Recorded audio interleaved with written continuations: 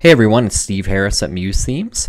Let's have a look at the state button widget. Now, the reason I wanted to do this video is because we're starting to release some navigation widgets that use the state button as kind of a controller to pop up a menu. And we're finding that a lot of users aren't really building buttons properly in Muse. There's a specific way to use the state button widget, and it's to me, it's kind of one of the most underutilized and hidden widgets in Muse, but it's really powerful and it's really easy to use. So let me show you how it works. So I have an example here of two buttons on the page. One of them is built with the state button widget and the other is just basically a rectangle with a text frame in the middle. This top one is how you're seeing most people build buttons in Muse. So you draw the rectangle, you do the text uh, frame in here and put some text, and then you can see if I click on it, it has a hyperlink apply. Let me show you the problem with doing it this way. So if I preview this in the browser, now if we mouse over this button, you can see that the outside does have a hover state, it turns white, but the inside also has one. And there's kind of this disconnect between the two. And you can see that even the link itself, there's kind of this area in the middle where you're not able to actually click the link. And so it's not really functioning as a single button. It's clearly two elements placed together. The bottom button is made using the states button widget. And you can see when you mouse over it, the whole thing changes and the rollover state is applied to it at once. So that's what we need to be doing. We need to be making these as a single element. So let me show you how to properly make a button like this in Muse. So let's delete those out. And the first thing we'll do is go to your widgets library. Now, this isn't the library that we distribute, like Toolbox library or anything like that. This is just the generic basic widgets that are included with Muse. Underneath the buttons folder, there is the state button. And if we drag that out on the page, then you get this generic lorem ipsum button.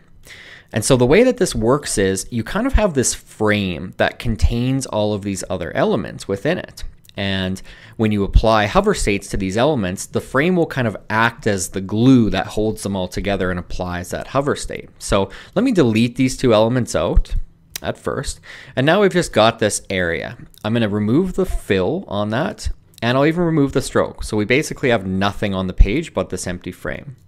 Now the next thing I'm going to do is I'm going to make a little navigation style button. So I'll show you what this looks like. Sometimes people call this the hamburger button on the web, but basically it's three little bars together and it's kind of what you're seeing on mobile navigations. All right. Sorry, I'm just having some trouble grabbing it here. Okay, there you go. So I want this separate from the state button for now. So we've got this little navigation button and you know what? Let's even use a little bit of text here. So I'll create a text block and let's call it menu. And I'll just increase the size on that. Let's change the color to white. Okay. There, so we're gonna have those like that. And then you know what, we could include a little icon like this Muse Themes one. Maybe I'll lump that in after, but I'll just show you how this works.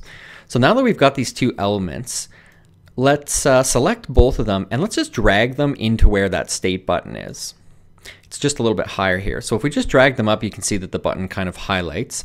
And when I drop them in, they're both now inside that state button. So you see if I mouse over it, I can actually click on the state button and it all moves around together. You're not selecting individual items anymore. So that's kind of how this works. So the way that we can apply these hover states is we can click into the state button just by having it selected, then clicking on an element within. And from there, you'll apply, apply unique hover states to these elements. So if we want the menu text to have a hover state or rollover state, sorry, of let's change it to a color. Let's just say it's going to be orange.